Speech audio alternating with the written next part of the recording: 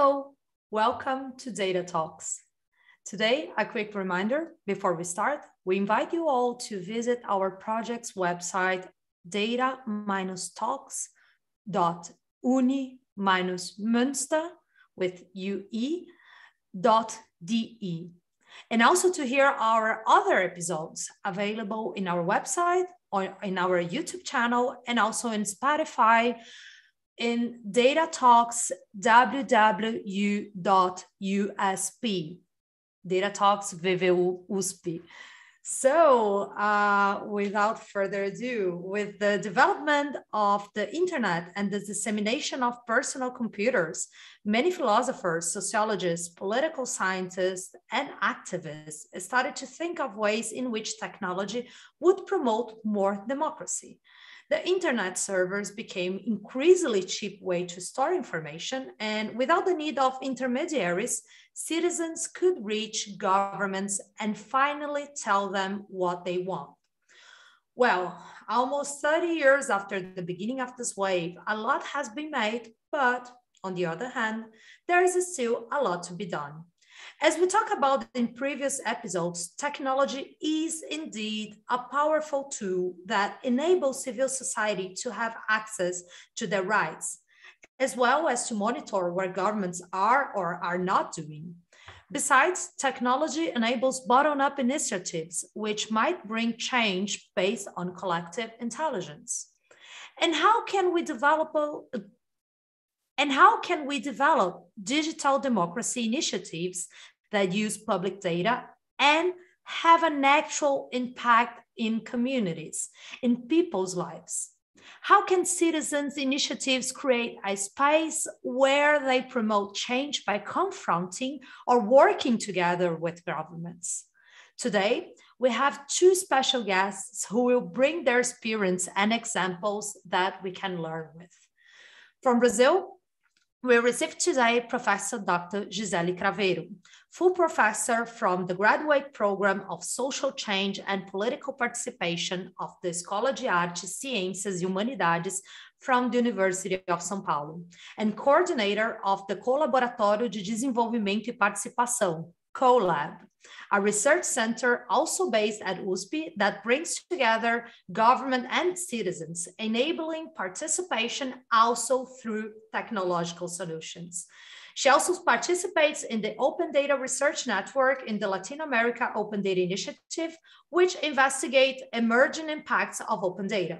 She coordinates solutions for online participation such as Cuidando do Meu Bairro and Monitorando a Cidade, recognized worldwide and analysis and co-design transparency and open data policies. So Professor Gisele, thank you very much for being with us today. Hi, Jessica. Thank you so much for the kind introduction and invitation for this amazing event. And thanks for all you here to, to talk about such important issues today. And from Germany, we received today Sonja Fischbauer, who is the community strategist at the Open Knowledge Foundation Germany. She specializes in designing and managing community driven process and programs in the intersections of technology, politics, and society. She's the full time point of contact for Code for Germany, a network volunteer civic tech open government, and open data experts. The network comprises a community of over 500 volunteers who work on sustainable digital change in politics and administration. They meet online in, and in local groups called OK Labs all over Germany. Sonja previously worked for several other civic initiatives, including Wikimedia Germany and Wikimedia Austria. Other open data projects she led, she is lead, she's led, sorry, include visual, visual analytics in data-driven journalism, valid, Gute Taten für gute Daten, and the Open Data Portal Austria. Sonja, thank you very much for being with us today. Thanks very much for the invitation. And uh, I'm glad to be here in such excellent company. so uh, I'm going to start with uh, Professor Gisele. Uh, you are one, uh, the coordinator of the CoLab, uh, this uh, lab that I mentioned in the, in the, introduction at the University of São Paulo, and you develop civic technology solutions among your work. Could you explain to us uh, what civic technology means and tell us more about the projects you developed in CoLab? Thank you so much for this question. It's important to, to put some basis here for our discussion because sometimes people think that uh, technology is the main point, is the main subject. So maybe we should uh, say a methodology or a process. So in our research center, uh, our research center, in fact, is a multidisciplinary research center that also develops uh, initiative with uh, communities, with governments, in order to understand what fits best for each situation. So we are trying to investigate and apply our knowledge uh, on the ground in order to, to build a kind of virtual cycle. So we develop methodology, we, we test them with people, with institutions, and also we this this learnings, this uh, knowledge, this knowledge, this social knowledge, this common knowledge, we try to refine the methodology, the process, uh, in order to iterate. So digital technology is uh, the smallest part. In fact, we are trying to understand which groups, uh, how um, how can we gather them, how we can uh, build such um, collective uh, intelligence, how we can develop and also put this into action in order to do social transformations. So we we have many projects uh, right now, but I'd like to bring to you to, to our discussion. Uh, I think the the most pro prominent that are caring for my neighborhood, cuidando do meu bairro. So it's a tool to grab open data, uh, open budget data. So uh, automatically it collects data from the uh, from the public government in São Paulo city and try to put put this data in a more easy way to comprehend because the budget data is not so easy to to engage uh, in order to understand. So we try to put all this data on the city map so it's a tool to monitor in real time the budget execution in the city level, in the local level. And also, it also offers a tool to put questions to the local authorities. So sometimes we don't have, uh, most of times, we don't have perfect data. So budget data is not always directly linked to the to the needs, the, informa- the information needs of the people. So when it, it when it doesn't meet the needs, people can send questions that are sent uh, via the uh, our tool, and both the questions and all the answers are published in the same online space in order to make this more visible, in order to share this knowledge with uh, everybody that's interested. So basically, this is uh, caring for my neighborhood. Uh, next year, uh, it will uh, we will have its 10th anniversary.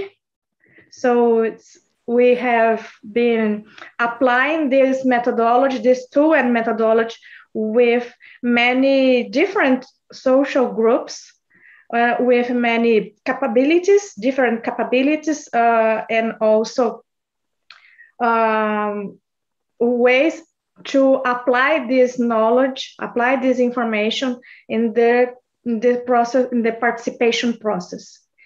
Uh, the second project is calling Monitorando a Cidade, Uh, it's originally uh, called Promise Tracker.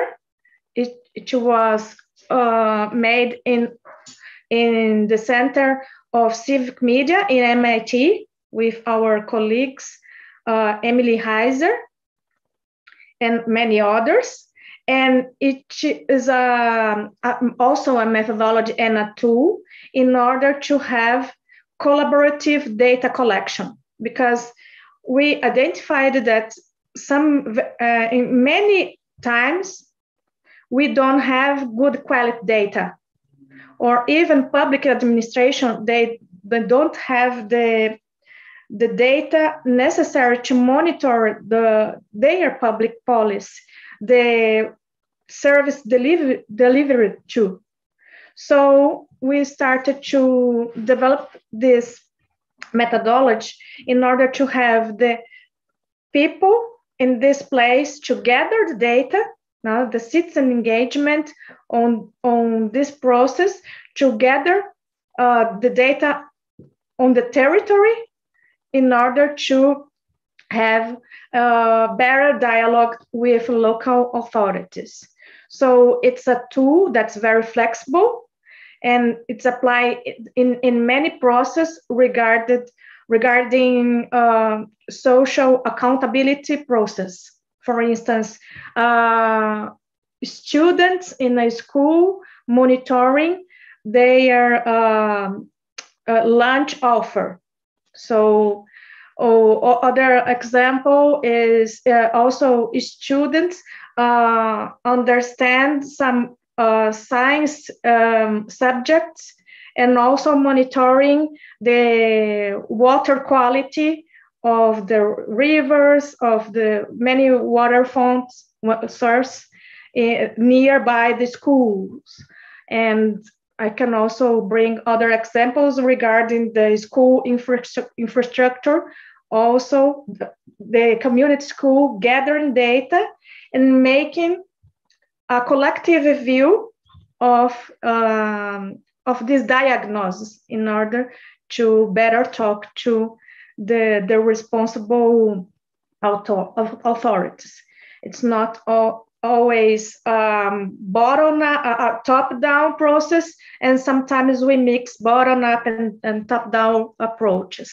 So basically, uh, these are the, the main initiatives that I can bring for our conversation today.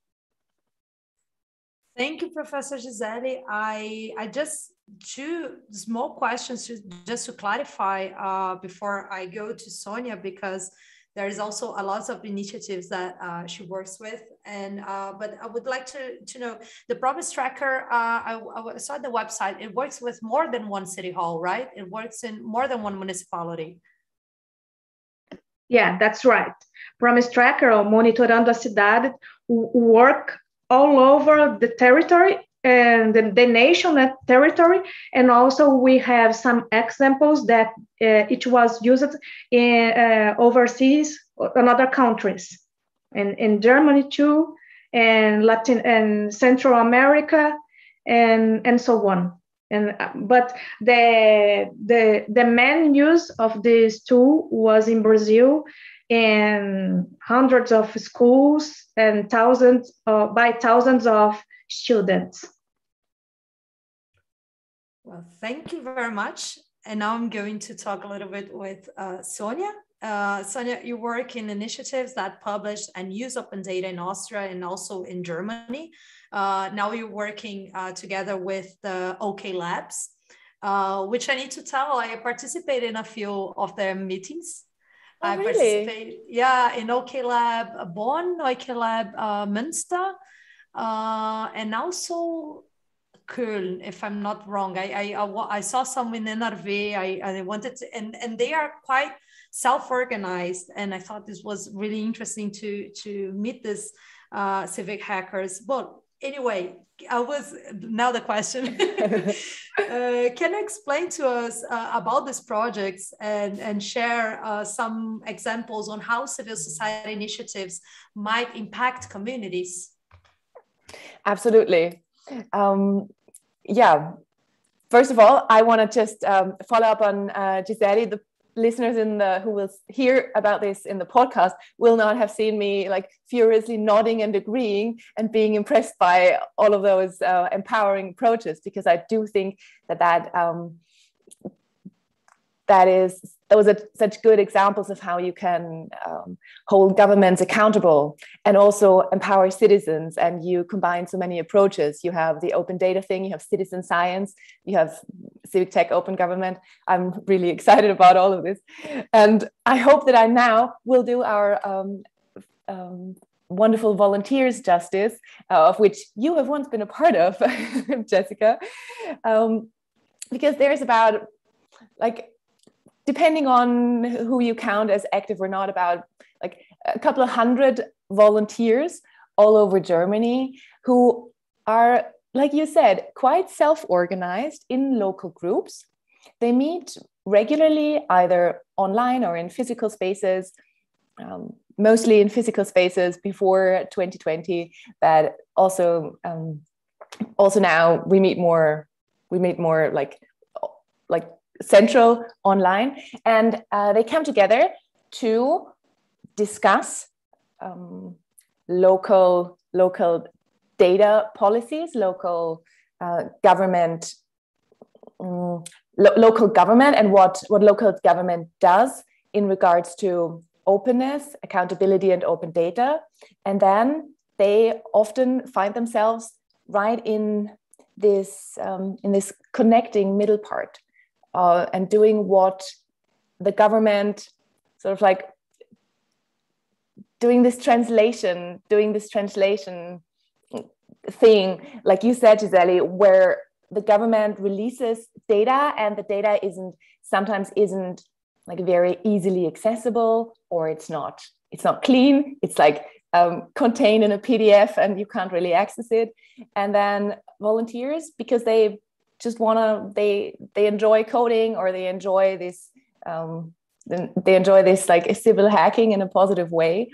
Uh, they will develop like small to medium to big scale solutions of little civic tech projects such as for example a um, a little website or a little app that uh, measures the quality of your drinking water in your area that pulls the data released from various various data sources and you can then like sort of type in where you live and see what's your what's your drink water nutrient quality. Or um, air data and how, how clean is the air around you.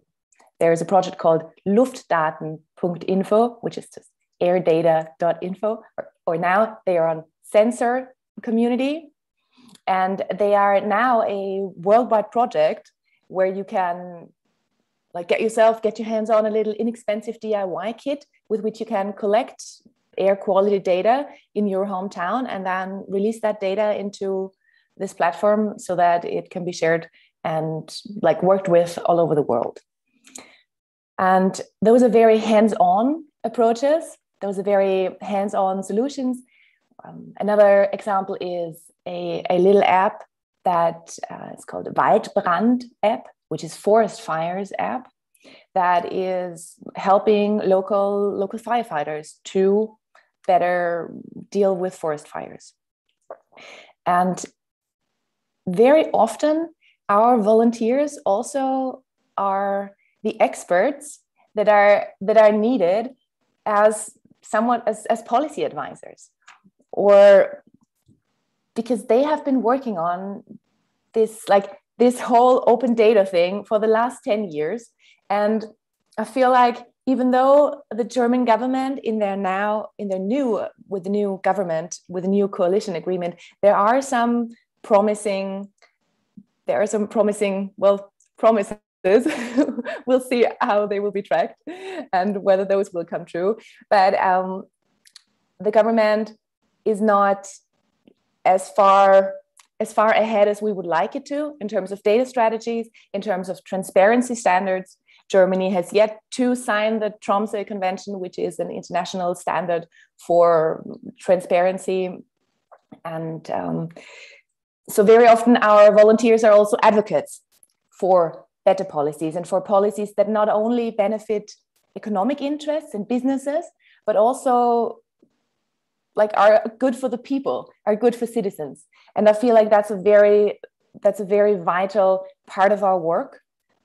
Like for the volunteers and me as a as a full-time employee at the Open Knowledge Foundation at this NGO, we are sort of like a mouthpiece for for civic society for for the public to have a counterpart to business lobbying you know because the data like data is often framed as oh so valuable for businesses and you can make startups with that and da da da da but it's it's not just that. And with all of this with all of this talk about innovation we must have new things and da da da this is a very this is very business driven and business oriented approach and, and speech. And so we're there to do our part and influence policies and send out statements and comment on the coalition agreement and analyze it. So to make well to make this um, voice of the public heard. So for the common good, that's what we work for or try to. Well i need to i need to and now we are knocking we're not nodding nodding with our heads all the time. Yes yes. Because um, there is a, a, thing about the ok labs that i thought i thought it was really interesting when i first had the contact with them that um, the projects were really local. And and also uh, you see what uh, and this was i was so excited to do this episode because uh, in both of examples that we bring from from the CoLab from the ok labs uh, and from other examples that we have contact with uh, direct or indirectly uh, we see how how people can develop their own solutions i mean the local firefighters was a project that i didn't know for example and i thought and I was thinking right now, wow, yeah, this might be a problem in a region that is uh, that is too dry, where there is a lot of forest, for example. Uh, this might not be a problem everywhere, but it's a problem somewhere. And sometimes uh, we don't even know that. We don't even know that this is a problem. And the in the OK Labs, my experience in that was uh, there was a lot of uh, focus, problem focus in in the sorry, that there was a lot of solutions that what we're thinking focus in the problems. And there is always a, a, a thing that I would like to stress. I think this, this is the, like the third or fourth episode that I say the same thing. That is uh, the difference of data that we have in Brazil and Germany, right? Because uh, I, I, we a question that a friend of mine, uh, Alice, uh, also a Humboldtian from the cohort that I came with, uh, she was stressing was okay, but if we're thinking about cities using uh, sustainable data to to make more sustainable cities, how how can we uh, are, are, we using this or not? Because the scientists have that, and we we can do a lot of things, but what we are doing the local level. So this is one of the examples that I think that there is a lot that might come up from that, and even things that we are not thinking at. May I add one point too? Uh, it's very important to stress uh, something that Sonja said. Uh, we, we all came from the same movement. So we are working for an open world, an open and collaborative world. So, so we are gathered here in order to discuss how can we access data and how and how this can also gather people in order to exchange different ideas different view point of views in order to solve a common problem. So we have to to develop uh, such collaborative uh, ways to do so. So yes uh, this this startup environment, this way to see technology in order to, to develop individual solutions from an individual perspective, uh, maybe is overvalued in our society today. So it's very good to have such initiatives that uh, bigger or big or small contribution do import, do worth. So I think we are talking about such environment that can open up to different needs, different views. It's very important to, to stress this point because we are, at least in Brazil, we are living in a such polarized society. So we should also look more for social coalition, social cohesion in order to, to deal with such a complex scenario we are living in. Yeah, thank you for like bringing it back to or like tying a bow to our our shared goal because I think that's something that we need to talk about more often or in every discussion about technology it's very easy to get lost in some buzzwords and with all of the K, uh, like ai money flowing in now and all of the all of the other like buzzword um, I don't want to say the B word, but you know, all of all of the um, buzzword technologies, and but what what are we doing it for? Yeah, we're doing it for a world where everyone can equally participate, and a world that is like where equity or, or um, equality is in place and where people are included in decisions and can participate on on a local level at least with engage with their communities be active and um, mündige citizens what's mündig? When you can when you are empowered and you can you can you can speak for yourself and you can make informed decisions. And that's what we're doing it for. We're not doing it for specific technologies and blah blah. Even though it does matter which technologies you use and it does matter that data for example should be should be linked data so that it can be easily or like easiest accessible and that it can be combined with other data and then you can build upon it more easily. In the same way that we want to build upon our shared knowledge that's why we want to share the knowledge so that we can create more together. Because if you like work in your little chamber and work on your one great startup invention idea then you're going to develop the same things over and over again which is a problem that we're actually seeing when governments do not build or, or yeah governments local governments or on a on a bigger national scale when they are just always asking for new innovative solutions but they are not looking at what's already been developed and this is where we as civic societies can offer a lot because we have this 10 year plus knowledge of our engaged communities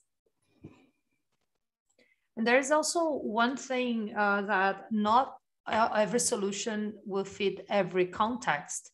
What is needed in Bahia might differ, differ from what is needed in NRW, what is needed in Piauí might differ, but from what is needed in Santa Catarina. So we, we might have problems or even similar problems but the solutions are not going to be the same so the local the local participation uh, is also another way to to make this possible right to to to bring up uh, there is a lot of uh, in political science we talk a lot about um, uh, as uh, not in, sorry not even political science more in the public administration theory. We talk a lot about uh, service evaluation but uh, for more than 10 years uh, which is the some the, the age of some of the projects we mentioned already uh, we have opportunity to do so much more than service evaluation. Sometimes i'm uh, looking at the theory sometimes i'm, I'm like uh, scared of how some people are behind that are not seeing that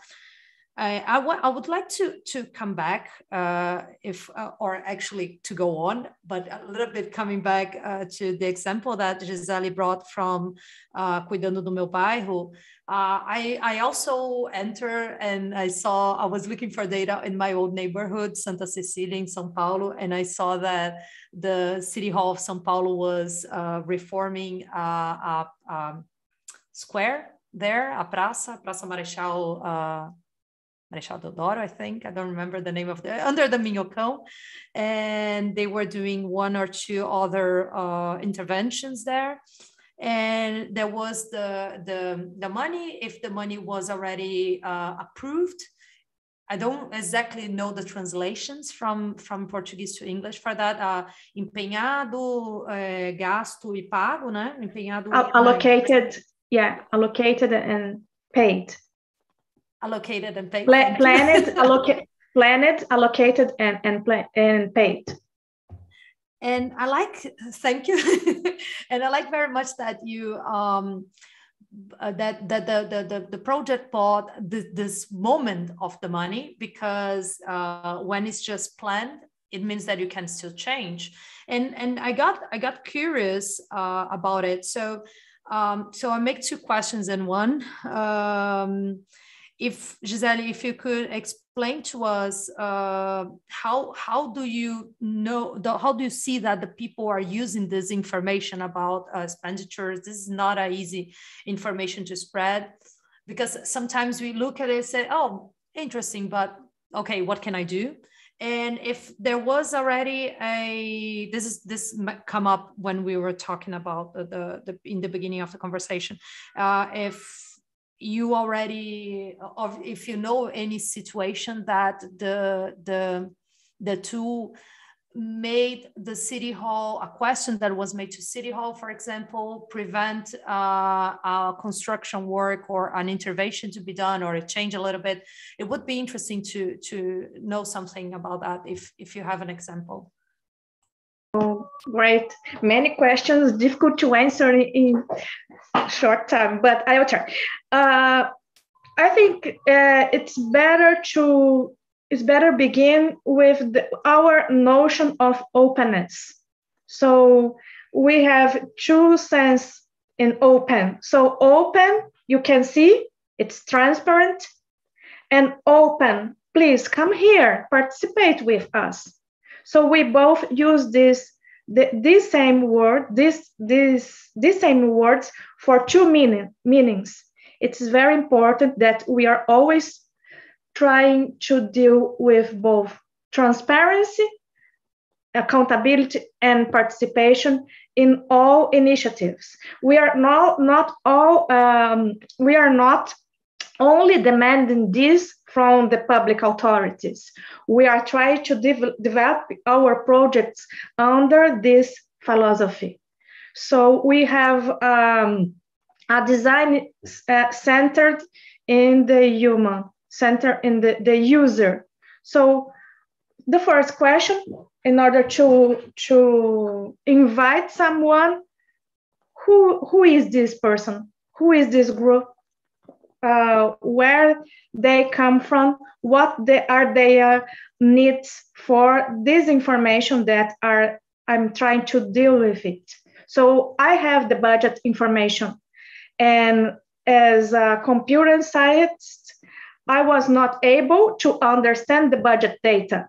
So I realized that it was very tough for an ordinary citizen there is no idea how to grab this data from the portal or even understand what is allocation what is such a budget concept in order to understand the process the whole process? So we try to put this in another language in the in the map vision in the map visualization in order to see, in order to test an hypothesis that most people would prefer this kind of data offering instead of a spreadsheet with uh, hundreds or thousands of lines full of numbers and concepts very very difficult to deal. So this is the, our first uh, part of our project. Uh, most people uh, I think 10% of people prefer the map visualization. So the map was a strategy in order to engage people. Please come here, look at this. So the map is, is a very powerful tool in order to first show the scenario and everybody had the same experience that you have, Jessica, oh let me see my neighborhood. Let's let me see what's going on my my home my my street. So that's why we, we, we put the name Caring for My Neighborhood, cuidando, not uh, put or eye or monitor. Uh, so uh, have an emotional link with the budget data in order to uh, develop uh, the interest to, to take care of the public good, the common good. The city is everybody's city. The street is everybody's street. That school, that square is everybody's school and square. So we we should look to our to our public goods as something we should care on on on, on them. So this is, was the, the strategy in order to see if public data would uh, help us in order to develop, de- develop this. So the public data was not enough to fit into people's uh, needs, uh, fit into people's expectations. So, oh, I have this square here, but oh, how, how are they are planning to put uh, this kind of equipment or my school are going to, to have uh, more rooms or less rooms. So people naturally uh, started asking other very, very good questions. And this is the main part in order to open, come here and, and help us in order to better understand how we are caring for my, uh, our city. How are we are planning to to better uh, develop public service and public policies? So we are integrating this project with the knowledge with the learnings people uh, gave to us. That's very that's very powerful. And i wrote a couple of things down maybe to a later tweet or just to remind myself of and um, have my work influenced by I find it really great that you gave two definitions for the word open or that it has two facets. One be like, yeah, that it should be open and transparent and accessible and accountable. And then open as in welcome, come in. We welcome you into our with open arms. And I do find that very nice. And I think that's something that a lot of projects lack, or I think that that can be the missing link for a lot of for a lot of things to create this emotional link between citizens and data. And i think that's a great example. I'm going to have a going to have a good research of that project later. Yeah because i think that's where a lot of um, that's where some projects especially if they are created by volunteers who are into who are geeky about tech and they they really love their they really love experimenting with data and then I have high data literacy, but they want to do something for for everyone for the common good. And then to have this in mind that you should create an create an emotional link. I think that's also what a lot of open government sort of like open government projects that are not that are trying to engage more citizens and get more like hey come on and sit at our table and talk to us about your local government needs sometimes they fail to attract enough engagement and i think that that yeah the you got to create that emotional link you got to give people something to, to care about because otherwise why would you spend your free time doing something that you have no connection to. I have I have a little technical question. So I saw the button where you can make questions about the budget. Do you use freedom of information law, or do you connect exactly with the secretary or uh, who is going to to making this? How do you do this? It's it's very important to say that this project has a bottom up approach. So we don't have any special link to the public authorities because we try to say to people that the same law that provides data and information to me as a professor or uh, uh, is available for them as a social movement or school uh, school children and so on. Everybody can use the freedom of information uh, tool. So the, the only uh, the, the special thing is that we automatize it. So i can send a very simple question where is the money? And I, I, I don't need to identify myself. It's very important because in brazil all requests for information must be uh, identified personally identify it.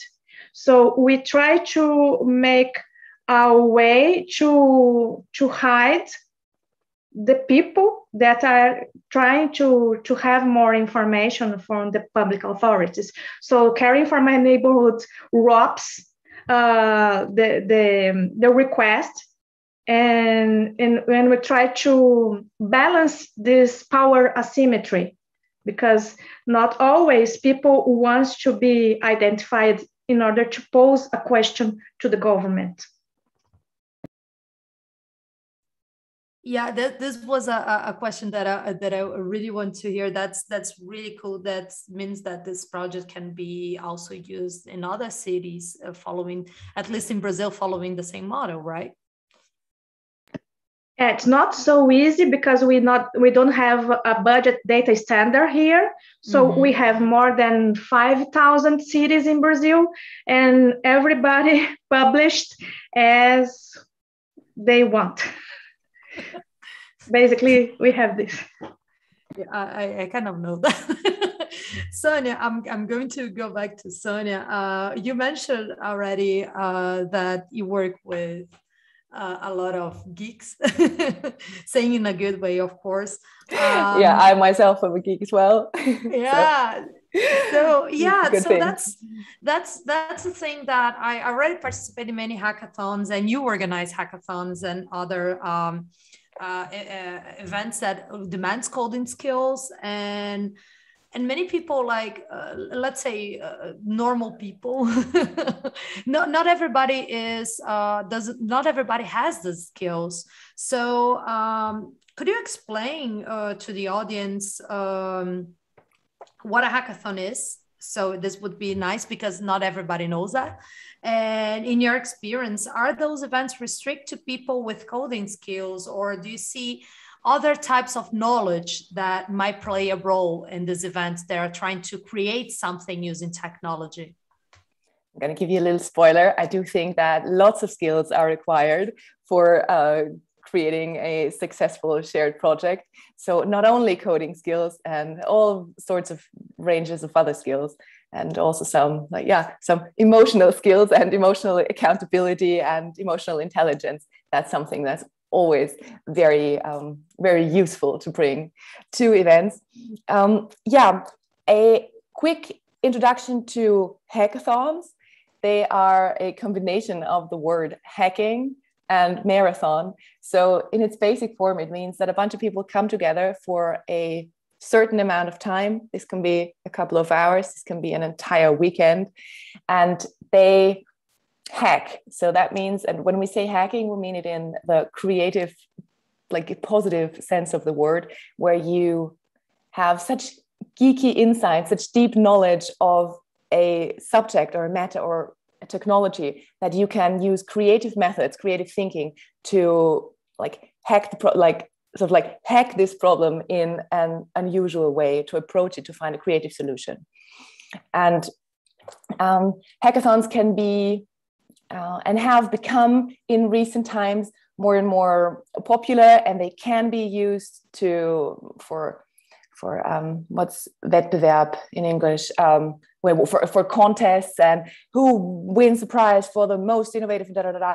but that's not what we in our movement like use hackathons for. They are more um, hackathons are a way for people to come together and share their knowledge, not only like work alone on a thing, but to have all ranges of skills and all sorts of different different inputs and yeah have like a, a co-creation space yeah, for a certain a certain amount of time.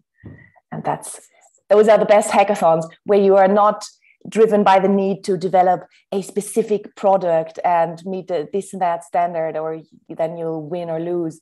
But to just have a room where you can experiment and work on a thing amongst like-minded peers and also meet some new people and have nice conversations.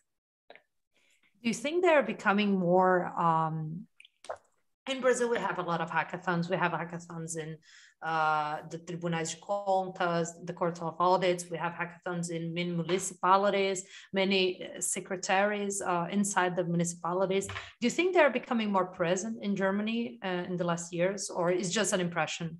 No, they are absolutely becoming more present. When I organized my first hackathon in 2014. That was still in back in Austria as a as a volunteer for a young coders like a young coders festival. Um, what's known in Germany now as Jugend hackt, like a big uh, tech, like all sorts of tech formats for young interested people who want to work on um, technical things, but also have some like political engagement um, yeah, back in 2014, that was sort of a new format that came up.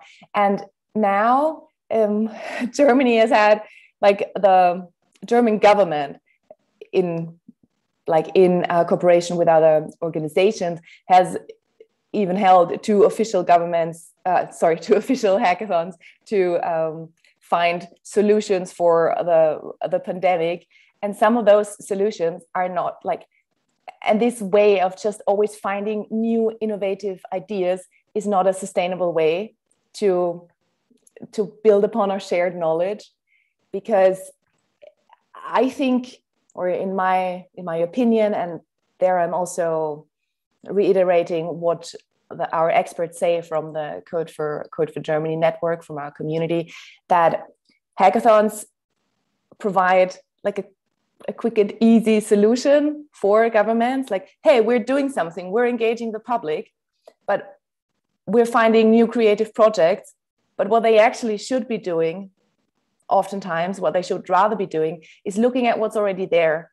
Because on github there's countless of little projects or bigger projects projects that have been funded or financed by our ngo but ran out of money because uh, they should have been transferred to government hands.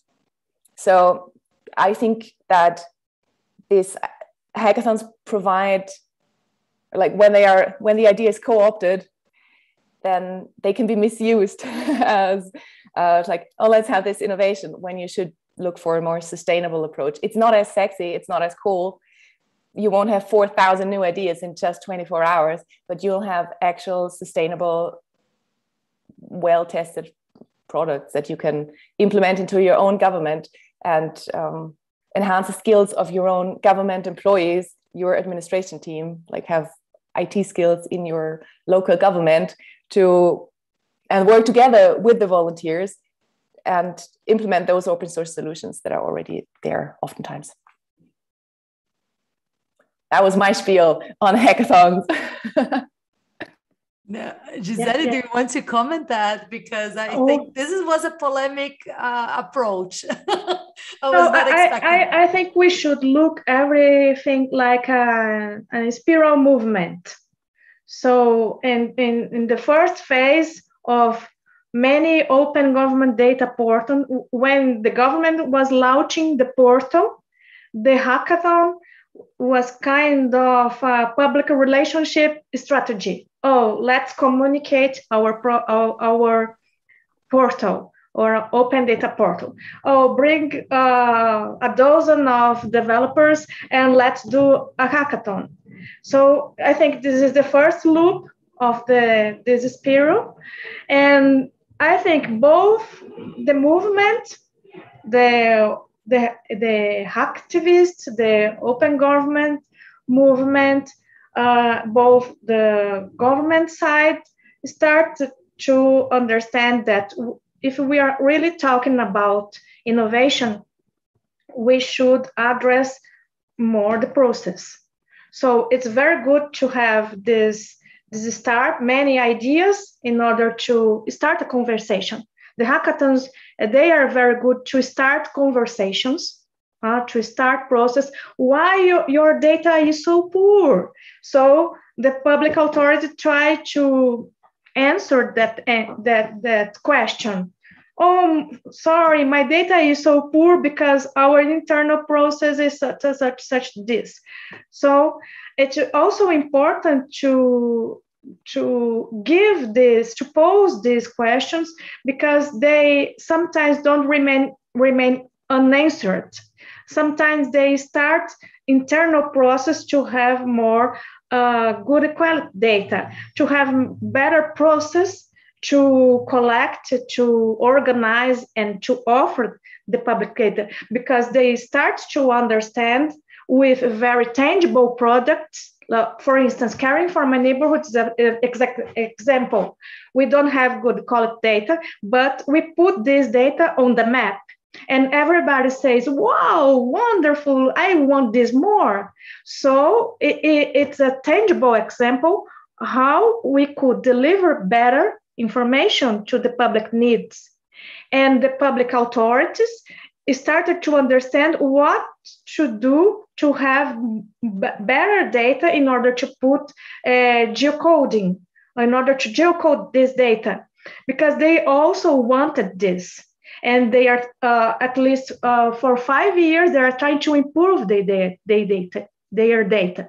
So I hope one day uh, the city hall uh, of São Paulo we will have a um, very good platform, but much better than caring for my neighborhood, and our initiative won't be more necessary.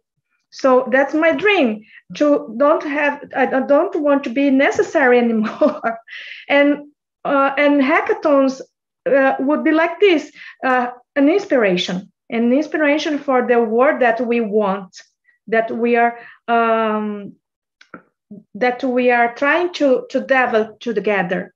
And some in one day, this world will be a reality.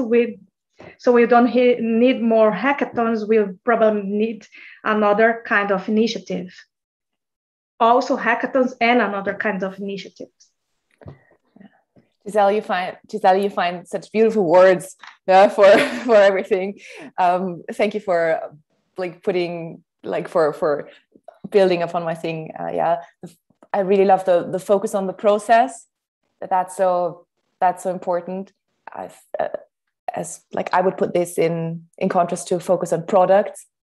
Yeah, and I think that focus on the process is really really important and yes it is a it is a two-way stream you are right because governments often want to know like what are you doing with our data? Like why is that useful?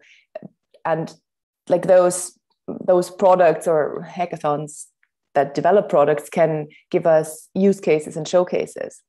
But i feel like in germany we are approaching or like we are at the beginning of a time period where we have shown enough. And i think that we should look like on this like spiral. I feel like we're at a point where legislation should change and processes should be should be looked at instead of always looking to civic society like show us more show us more.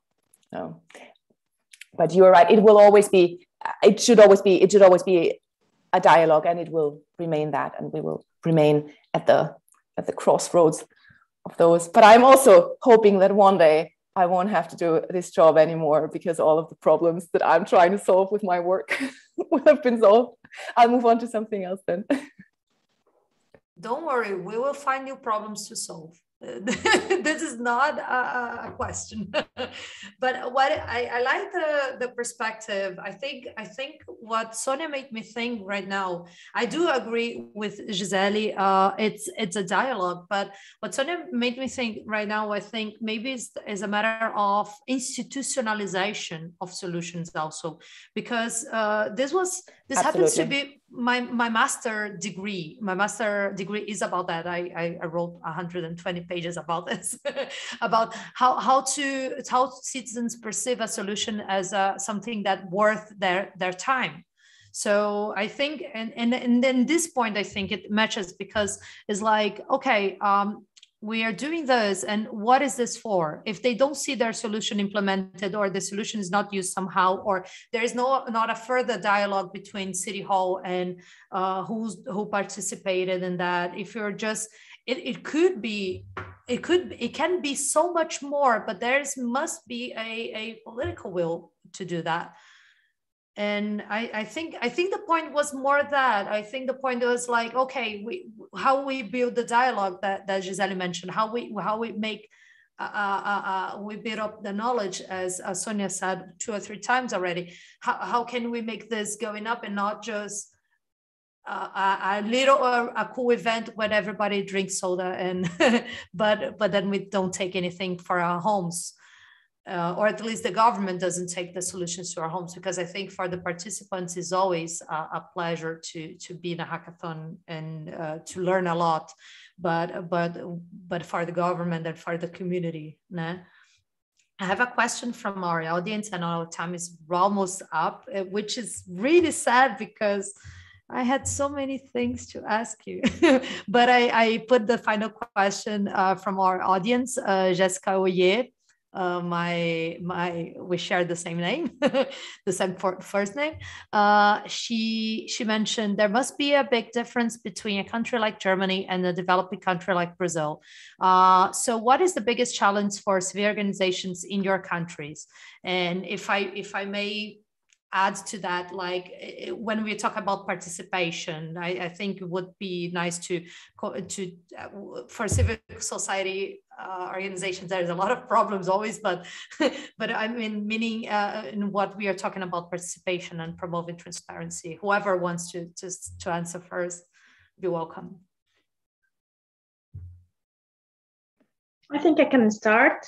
Uh, in fact, Brazil uh, has many countries inside one. So we have a very rich regions in Brazil, like São Paulo, where I live now, and very poor ones. So I think the our main concern here in Brazil is inequality. So you can imagine that inequality social inequality, economical inequality is our main challenge in order to, to make this flow of information uh, really makes the difference to the people that lives in such different scenarios, in such different contexts. So I hope that uh, we uh, as uh, data activists we could um, have our collaboration in this very complex scenario. And you can imagine in this pandemic period, this pandemic uh, that we are living in, uh, put more lights in our main problems. So, so we have this context that I think many uh, underdevelopment countries uh, share, but maybe we also have the same in very rich nations too, that inequality, unfortunately, uh, we have in many contexts, in many levels. Uh, talking about our challenge here in Brazil, uh, we are uh, in this moment um, under attack uh, as civil society and as scientists because we are living in a negationist government that diffuse fake news and social division. And also, uh, it is uh, undermining our ways to sustain the initiatives, both in the academia and civil society uh, environment.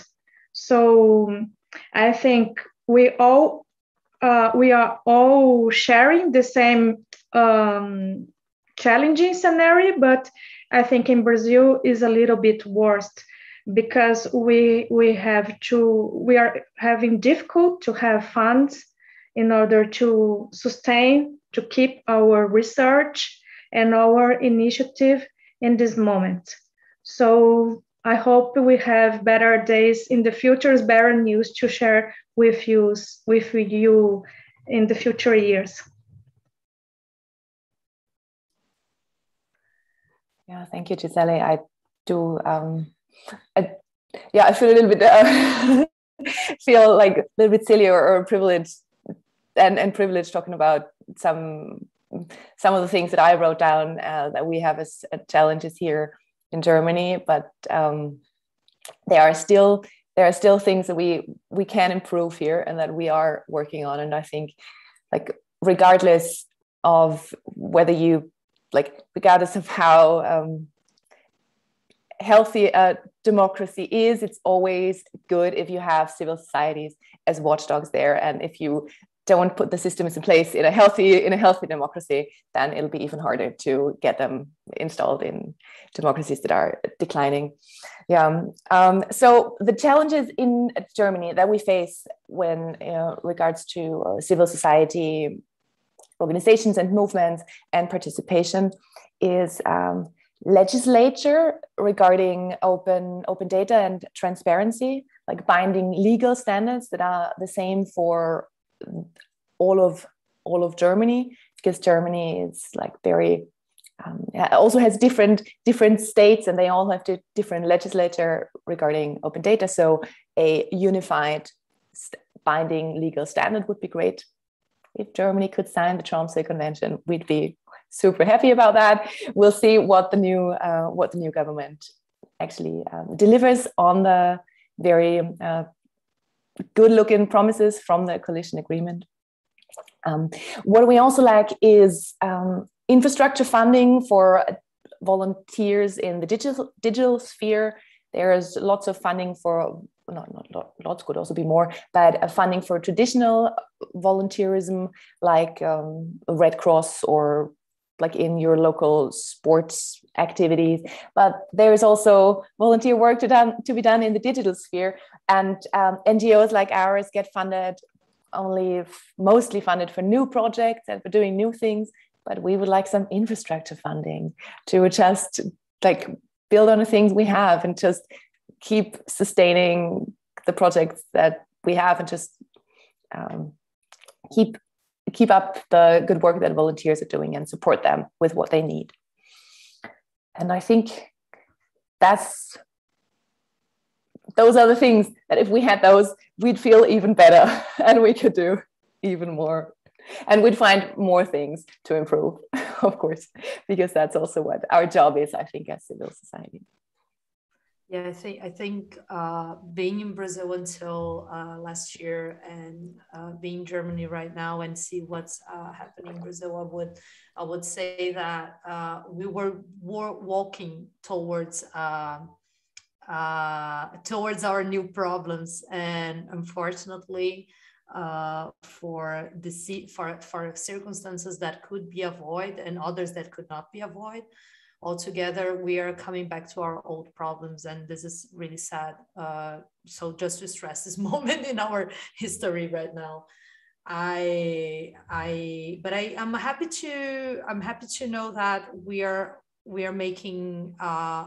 uh advance uh, in what is about what has to do with uh, not only participation but actually building knowledge and building new new solutions. And i hope uh, our work uh, our work i mean uh, the work of uh, CoLab the work of open knowledge foundation the work of other civil societies initiatives that uh, use innovation to promote social good. I hope uh, that we still go in, in the in an advanced direction. Um, finally, I would to, our time is up, unfortunately. Uh, this was a really good talk.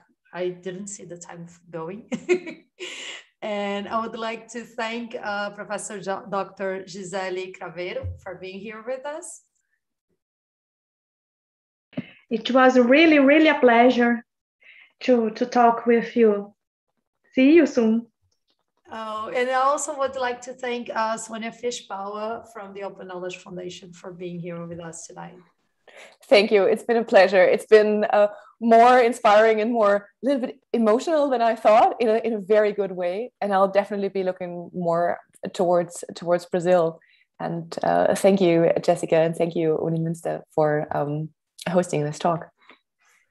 And emotion was definitely one of the words today. Uh, emotion is a key for participation. I'm going to save this uh, for my further uh, work experience and life. So, and finally, I would like to thank you all who is watching us today or hearing us today in the podcast. Data Talks is a series of talks between experts from Brazil and Germany who discuss the use of public data in today's society. The Data Talks is an initiative from myself, Jessica Vogt, as a part of the German Chancellor Fellowship from the Alexander von Humboldt Foundation, and it's hosted and supported by the Brazil Center of the University of Münster in the framework of the Strategic Partnership Project WWU USP, funded by the DAAD. I'll see you on the next talk. Have a nice week. Bye-bye.